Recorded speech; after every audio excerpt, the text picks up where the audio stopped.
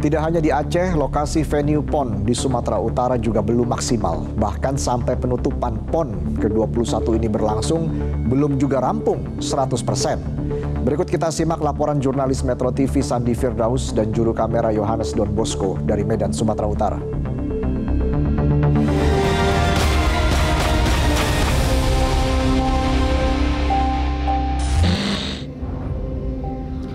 Gelaran PON ke-21 Aceh Sumatera Utara 2024 telah berakhir pemirsa.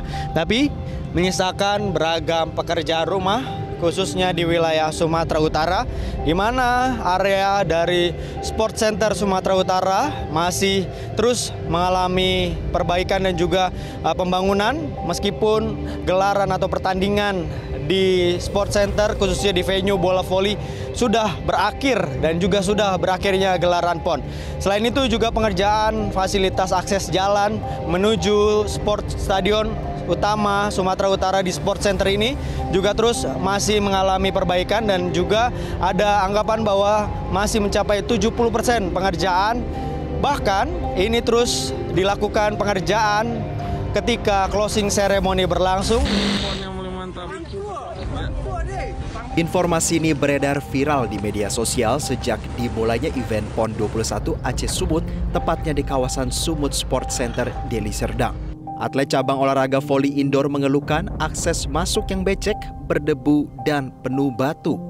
Bahkan beberapa triplek serta potongan kayu digunakan untuk menjadi jalan pintas para atlet yang akan memasuki venue PON 21 di Sumatera Utara. Sport Center Sumatera Utara sejauh ini telah dibangun empat venue untuk enam cabang olahraga yang bertanding salah satunya cabur bola voli indoor. Para atlet memulai latihan perdana mereka sejak 9 September lalu. Untuk akses masuk yang dilalui atlet, official serta penonton ke dalam venue bola voli indoor harus melalui jalan berbatu dan minimnya petunjuk arah pintu masuk. Hal ini pun mendapat respon dari sejumlah penonton yang rela datang jauh dari luar Pulau Sumatera. Uh, pada umumnya sudah bagus, cuman kalau di, dikasih kursi-kursi yang lengkap lagi lebih, lebih bagus lagi gitu dengan fasilitas-fasilitas dengan trek yang juga tempat turunannya yang representatif juga. Nah, lebih indah lagi. Ya suhunya cukup panas karena mungkin fasilitasnya kalau lengkapi lagi fasilitas uh, pendinginnya lebih bagus lagi. Nah. Jadi melihat akses menuju ke sini, uh, bagaimana melihat akses itu dan kalau nggak ada apa bisa kesasar nggak Pak? Ah, masih perlu banyak pembenahan. Namun itu kita maklumi, namanya masih tahap awal. Diharapkan sih ada petunjuk jalannya dan ada petugas yang mengarahkan.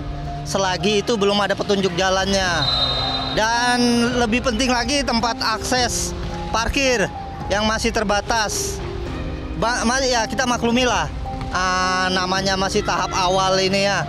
Ya harapannya sih ke depannya bisa lebih baik lagi. Kalau untuk dalam gedungnya ini sendiri, selain tempat duduk ini ya ketertiban penonton sih sebenarnya yang berdiri di pagar itu hendaknya langsung duduk karena sudah disediakan tempat duduk. Ditemui di Istana Kepresidenan pada 11 September lalu, Menpora Dito Aryo Tejo mengakui ada sejumlah venue pendukung gelaran PON ke-21 Aceh Sumut yang belum 100% selesai. Dito menyebut fasilitas tersebut seharusnya menjadi porsi pemerintah daerah. Dito mengakui salah satu yang bermasalah adalah venue untuk voli. Dirinya mengaku sudah melaporkan hal ini kepada Satgas Pendampingan Tata Kelola yang dikepalai Wakil Jaksa Agung agar pengerjaan venue benar-benar sesuai spesifikasi, kontrak, dan kebutuhan. Itu sebenarnya kita sudah menelusuri, alhamdulillah kalau yang di Aceh uh, relatif lebih sempurna, tapi memang di Sumut ada beberapa titik di mana venue olahraganya itu sudah selesai, tapi memang venue pendukungnya beberapa ada yang belum 100% di mana itu sebenarnya porsinya APBD atau daerah. Tapi di sini kita sudah tidak melihat siapa tugas siapa yang terkait kemarin venue Poli di mana setelah kita dapat laporan pertama kami langsung bersama PUPR mencari solusi langsung dibangun langsung dipercepat ini menjadi satu PR bukan hanya bagi PB PON Sumatera Utara tapi juga bagi pemerintah dan juga khususnya daerah Sumatera Utara untuk membangun dan juga mempersiapkan PON sejatinya sebelum atau opening berlangsung. Jelajahi cara baru mendapatkan informasi. Download Metro TV Extend sekarang.